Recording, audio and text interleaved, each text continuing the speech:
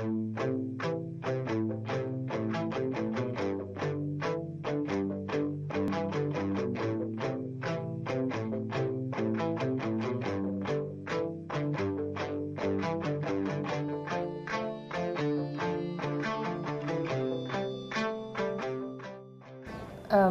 Octavia, my, my old band, wasn't very busy at the time and I was kind of really keen on doing some more music and I have had my eyes open for other projects for a while.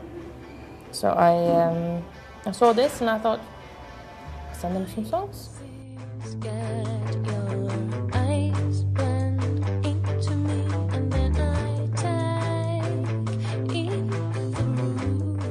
We had the feeling like, yeah, we really need actually a kind of kick under the ass.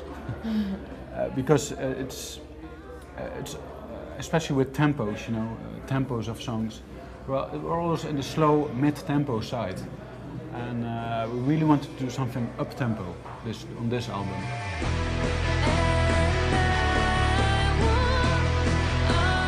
Well, we have this idea about a fictive city where all the buildings are uh, like a musical part, or maybe one building is a song or something. Yeah. And then, then uh, I kind of took it a little bit further with um, the whole city. Like the city is so much more than just buildings. It's uh, also the people, emotions, the graveyard, the park. You know, all the things.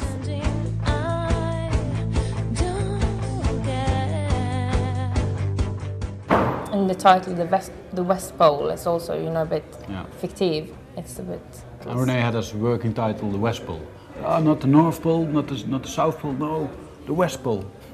and Yeah. just a joke, you know, but uh, it sounded really cool actually for the album. Yeah, well, yeah. have it as the title for the album. And then was like, yeah, maybe. yeah, it was good.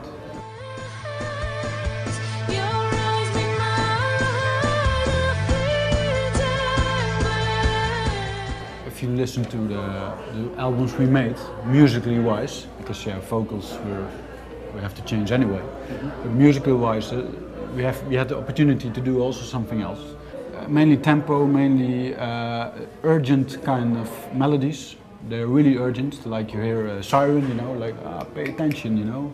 This is where it happens, and that feeling we really wanted to catch this time.